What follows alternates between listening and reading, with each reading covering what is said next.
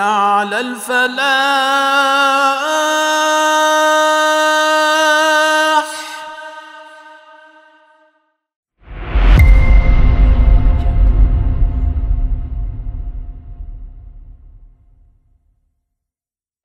بسم الله الرحمن الرحيم الحمد لله الحمد لله رب العالمين والصلاة والسلام على المبعوث رحمة للعالمين سيدنا وحبيبنا محمد وعلى آله وأصحابه أجمعين وبعد السلام عليكم ورحمة الله تعالى وبركاته محترم أزلر barcha barchalaringizni qadamlaringizga hasanot alloh subhanahu va taolo bosib kelgan qadamlaringizni nurlar aylab har biringizni namozlarida qoyim har biringizni namozlarida bizdan talab qilinganidek alloh subhanahu va taolo bizdan o'zi so'rab aynan payg'ambar alayhissalotu vassalomga buyurilganidek sahoba ikromlar u zotlarni aynan o'zlari qanday namozni payg'ambar alayhissalotu vassalomdan o'rganib o'qigan bo'lsalar o'shanday namozni qoyim turishligimizni alloh barchamizga nasibu ro'za aylasin. Va mana bugun namoz sabog'i darsligimizni allohni fazli bilan sakkizinchi soniga kelibmiz.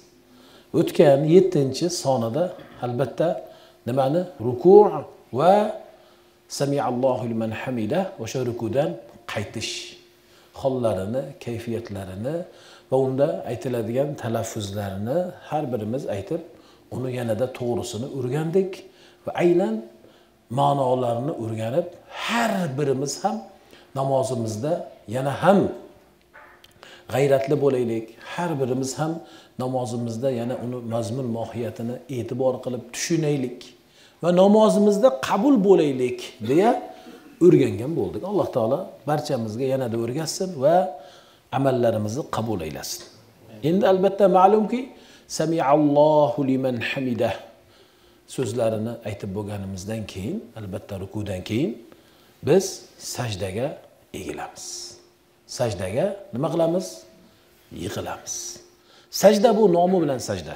Allohga shukurlar bo'lsinki bu tilimiz o'zbek tilimiz zabonimiz ichida arabiy kalimalar ko'p. Hammangizga ma'lum. O'shalardan mana shu sajda hay'ati sajda kayfiyati bo'lsa aynan shu holat assajdatu deyilsa arab tilida bizda ham sajda. Bo'ldi. Demak sajda o'zini nomi bilan sajdadir. Banda namoz o'qiyotgan paytida samiallohu liman hamidah so'zini aytib uni ma'nosini qalban his qilib bo'lganidan keyin ohistalikda shoshmagan holatida sajdaga egiladi. Endi sajdani endi lug'atdagi ma'nosini bilingda arab tilida o'zi as sajdatu deyilganda ma huva sajda deyilsa arab tilida o'zi aslida sajda lug'atda yuzni yerga qo'yish degan ma'noda ekan. Aslida arab tilida sajdani hali namoz yo'q. Namozni tasavvuringizga keltirmay turing. O'zi arab tilida shunday yuzni yerga qo'yishlik bu sajda deyiladi. Tushunarli? Endi istilohda ya'ni fiq ilmidachi bu namozimizdagi holatdachi yuzni ba'zisini yerga qo'yish deganlik. Demak bu qarang nomi bilan sajda ekan.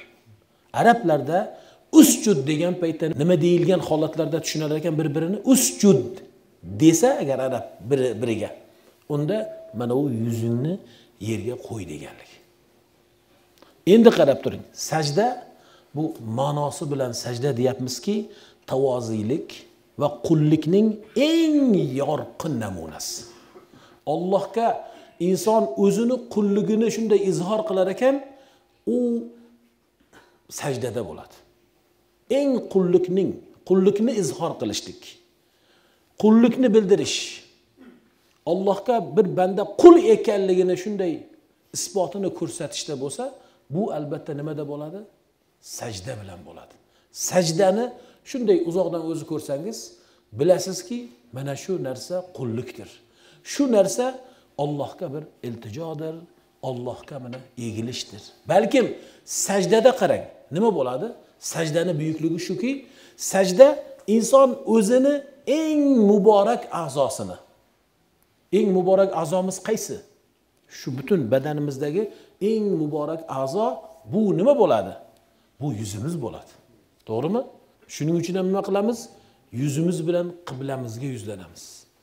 Yuzimiz bilan mana qarang sajda qilishligimiz butun a'zolarimizdagi eng mo'tabar eng aziz eng ulug' a'zomizni qarang ulug' robbimiz alloh azza va jallaga qo'yar ekanmiz tushundingizmi?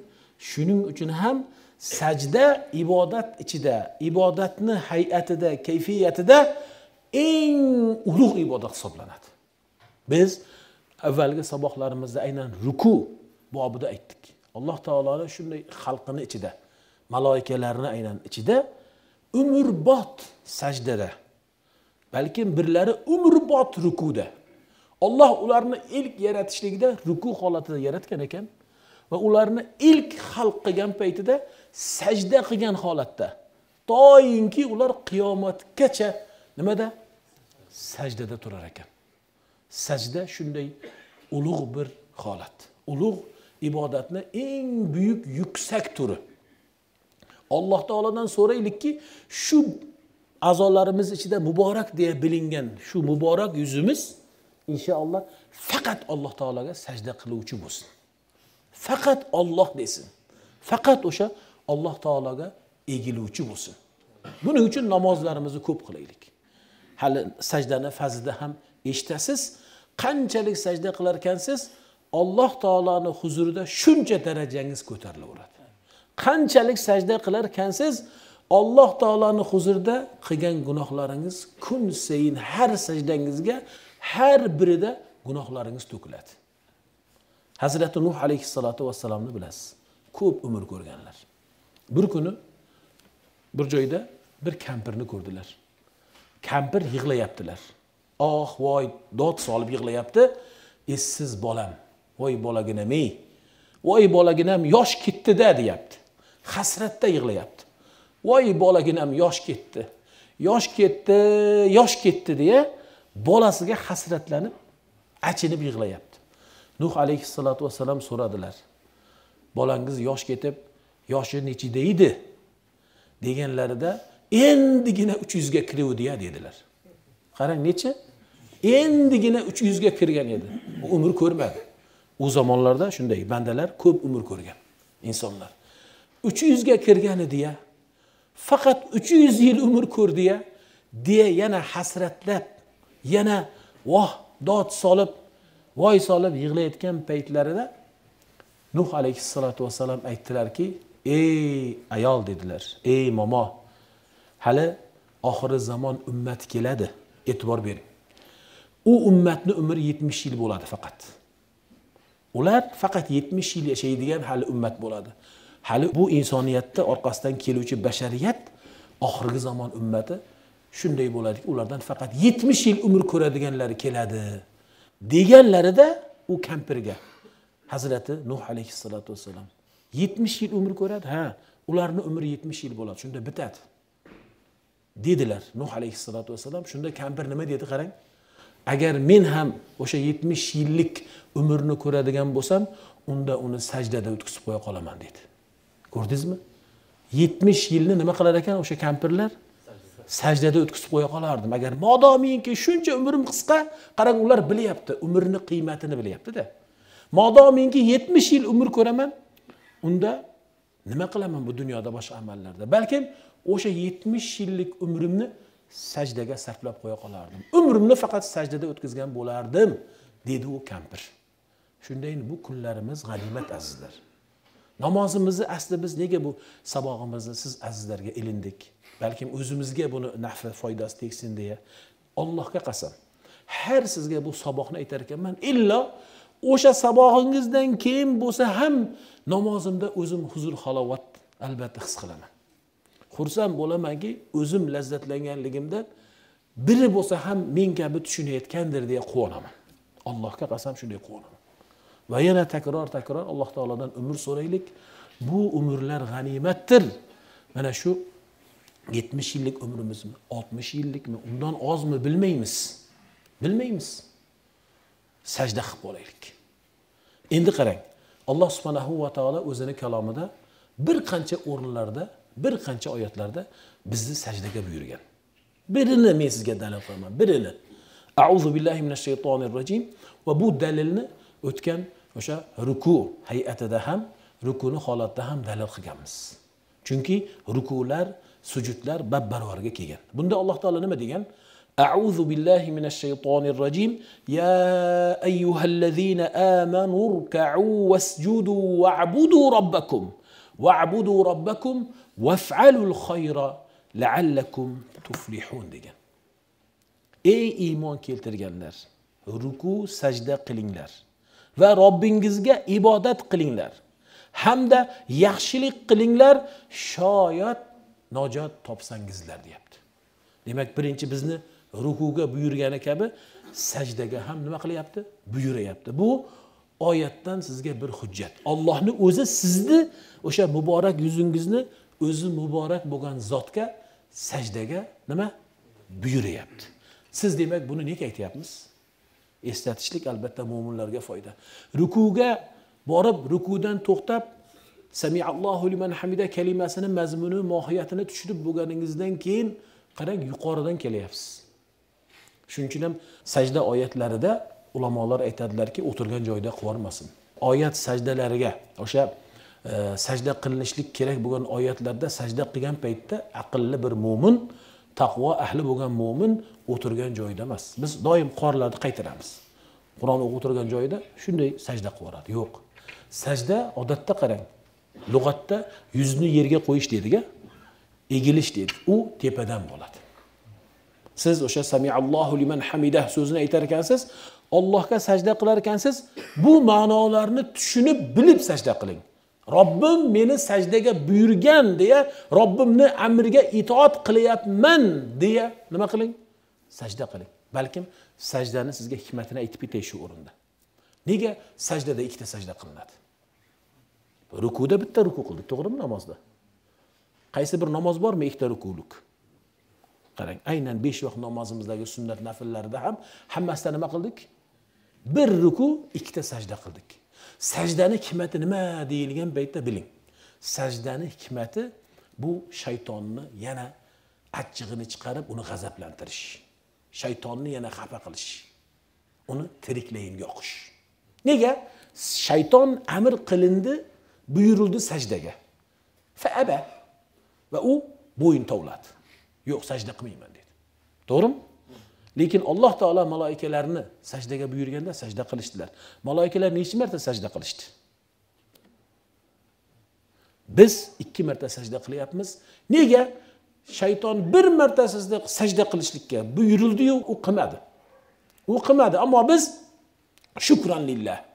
Allohga shukur qilib sen bizni o'zingning o'sha muborakligingga ulug'ligingga sajda qilishlikka buyuribsan ana u shaytoni lain sen buyurgan buyruqni qilmadi. Ey robbimiz mana biz senga ikki marta sajda qilamiz degan ma'noda ikki marta sajda qilar ekanmiz.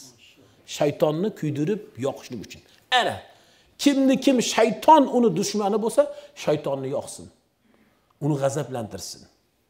Uni mana shunday azoblasin har sajda qilganingizda bilasizmi shayton nima qiladi? Har sajda qilganingizda shayton o'sha patini bitta bitta yuladi yig'laydi. O'zini chakkasiga urib olib yig'laydi. Meni holimga voy deydi men sajdaga buyurildim va unga bo'yin tovlamadim sajda qilmadim va alayyannar olloh meni endi do'zaxga olib kiradi. Ammo inson bolasi sajdaga buyurildi sajda qildi falahul janna endi unga jannat deydi mana shu tuyg'ularda bo'ling sajdaning demak hikmati shu ekan. Alloh subhanahu va taolo bizni buyurganligiga shukur qilib va shaytonni yana g'azabga keltirib biz ollohga sen shunchalik bizni sajdaga buyuribsan ey robbimiz biz bir emas balkim ikki sajdani senga qilamiz. Va takror odatda qarang takror bu albatta bir narsani takror deyilsa aynan amallarda takror deyilsa takror aytilsa yo qilinsa uning ulug'ligiga dalolat qiladi. Olloh demak rukudan ham sajdani yaxshi ko'rdiki bizni o'zi ikki sajdaga har namozimizda buyurdi. Shu sababdan rukudan ulug' deyiladi sajdani. Tushunyapsizmi? Shu sababdan sajdamiz borku rukudan ulug' ana o'sha ulug' sajdani qilar ekansiz sizni qalbingizda bu ma'nolar bo'lsin. U sajdani qilganingizda xuddi payg'ambar alayhissalotu vassalomni avvalgi saboqlarimizda nima dedik? Sahobalar aytyaptilar. Oysha onamiz aytyaptilar. Sajda qilardilar turmas edilar. Sajda qilardilar turmas edilar. Biz o'ylardikki menimcha sajda qilib qoldilarda sajdadan turishlikni unutib qo'ydilar o derdim deydilar oysha onamiz. Shu darajada sajdani ko'p qilardilar. Alloh taolo har birimizni sajdada bardavom aylasin endi oyati karimadan sizlarga qur'ondan dalil olib keldikki olloh bizni qanday sajdaga buyurgan. Va payg'ambar alayhissalotu vassalomni so'zlari bir qancha so'zlarida bizni qanday sajdaga buyurganligi bizni qanday rukuga buyurganligi namozlarimizda qanday qoyim bo'lib turishligimizni namozlarimizda qanday hali bundan keyingi suhbatimiz albatta tashahhud bo'ladi. Sajdadan keyingi holimiz nima? Attahiyotni aytish tashahhudni aytish. Unda qanday qa'da deyiladi? O'tirishligimizni payg'ambar alayhissalotu vassalam bizga o'rgatganlar. Vallohu alam. Mana shu holimizni ko'rsalar payg'ambar alayhissalotu vassalam har birimizni qaytargan bo'larmidilar. Yo'q. Bu sajdangiz ma'qul emas. Boshqatdan qiling deya. Xuddi sahobalardan hallad ibn rofiyani qaytardilar. Qarang payg'ambar alayhissalotu vassalam o'zlarini sahobalariga qanday namoz o'qishlikni o'rgatdilar. قال النبي صلى الله عليه وسلم إذا قمت إلى الصلاة فكبر dedilar ثم اقرأ ما تيسر معك من القرآن. ثم اركع حتى تطمئن راكعا ثم ارفع حتى تعدل قائما ثم اسجد حتى تطمئن ساجدا ثم ارفع حتى تطمئن جالسا وافعل ذلك في صلاتك كلها. رواه البخاري ومسلم. Rasululloh alayhissalotu vassalam bir sahobaga o'rgatyaptilar. Sahobani ko'rdilar sahoba nima qilardilar? Namozlarini shoshib o'qirdilar. Birida aytdilarki solli annaka lam tusolli namozingizni boshqatdan o'qing siz go'yoki namoz o'qimadingiz dedilar. Sahoba o'qidilar yana qaytardilar. Yana qaytardilar. Uch marta hatto uchinchisida keyin idan kayfa usolli deya so'radilar u sahoba. Ismlarini kim deyapman? Ahli siyar roviy hadis hallad ibn rofi deya eslab qoldik xallad ibn rofiga buni aytgan ekanlar. Agar hallad ibn rofi avvalida qanday o'qiy menga o'rgating desalar edilar unda rasululloh avvalida aytgan bo'larmidilar. Lekin u kishi uch marta ham qarang uch marta rasululloh alayhissalotu vassalomni oldilarida namozlarini tez o'qiganlarida rasululloh qaytardilar. Payg'ambar alayhissalotu vassalom aytibdilar kimga? Hallad ibn rofiga bu bizga hozir. Iza qumta ila solati fakabbir. Namozga turar ekansiz birinchi takbir ayting. To'g'rimi? Buni biz avvalida o'rgandik. So'ngra yodlaganingizcha sizga yengil bo'lganicha nimani bilsangiz suralardan albatta fotiha bilan uni o'qing. So'ngra ruku qilingki hatta tatmainna rokia ruku qiling shunday bir ruku qilingki u rukuda siz xotirjam turing. U rukuda xotirjam bo'ling. To rukungizda xotirjam bo'lguningizcha xotirjamlikni egallaguningizcha rukuda bo'ling deyaptilar. Endi rukuda demak ana u sahobaga xotirjamlikni o'rgatyaptilar. U so'z albatta ta'lim hozirgi kunda bu bizgadir. So'ngra deyapti qarang rukuni xotirjam qilganingizdan keyin turing qayting deyaptilar. Samiallohu liman hamidani aytar ekansiz hatta ta'dila qoima so'ngra shunday bir qaytishda rukudan tik turib qoyim bo'lingki mu'tadil bo'ling. Qomatingiz nima qilsin? Tik tursin. Bunaqa qilgan holatda yarim qilgan holatda yoki ba'zi arablarda ko'rganmiz. O'zbeklarda men buni ko'rmadim deyarli. Arablarda rukudan turganlaridan keyin qoyimlikni qoyillataman deb orqaga ham ketib yo'q. Mu'tadil. So'ngra shunday bir qiyomda turingki mu'tadillikda turing. Ya'ni tekis turing. Ammo biz o'zbeklarimiz o'ta afsus shoshilamiz. Bu yerda hammasida xotirjamlik xotirjamlik deyilyapti qarang mana sajda keldi endi. So'ngra sajda qiling toinki sajdada xotirjam bo'ling. Sajdada xotirjam bir holatda turib sajdani ado qiling. Sajdadan keyinchi. Hatta inna jalisa. Ikki marta sajdamizni qildik so'ngra endi xotirjamlik holatda o'tiring. Shoshmang. Endi qarang davomi vafal zalika fi solatika kulliha deyaptilar. Va buni namozingizni har birida mana shunday qiling deya payg'ambar alayhissalotu vassalam sahobaga o'rgatgan namozlarini sizga albatta ilmini yetkazdim hadis kimlarni hadisi? Hazrati imom buxoriyniki hadis hazrati imom muslimlarniki. Bizni aksarimizni namozimiz borku mana shu namozga o'xshab ketadi. Ya'ni qaytariladigan namozga o'xshab ketadi. Nega? Rukudan shunday turamizda samiallohu liman hamidani shu tezlikda aytamizki xuddi bizni bir yov bir dushman quvib kelyapti. Shoshib shunaqangi tez boramizki sajdaga sajdada shu subhan robbiyal ala subhan robbiyal xuddi biz bir tez aytish o'ynayotganday biri yonimizdagi biri bilan shunaqa holatda unday bo'lmaydi azizlar. Unda mutmainlik xotirjamlik yo'q. Faraz qiling bir yildan beri o'qiyotgan namozingizda bu sifatlar bo'lmasa qanday bo'ladi u namoz? Qarashligimiz kerak.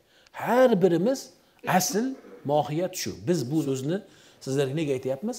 Ma'nosini bilaylik keyin shu namozlarimizni shoshilmay o'qiylik deya bu alhamdulillah saboqlarni boshlagan edik. Ammo men juda ham xursandman. Ko'pchiligingizda alhamdulillah kun ora ya'ni kun sayin alhamdulillah o'zgarish va oldinga qarab jilish bo'lmoqda. Alloh yanada albatta o'zi olimdir o'rgatsin va bizga bildirsin ilohim. Demak bunda hadis o'laroq sizga zikr qildimki payg'ambar alayhissalotu vassalomni sajdalari va bizga sajdalardagi ta'limlari va sajdaga buyurganlari. Bu dalil o'laroq sizlarga zikr qilindi.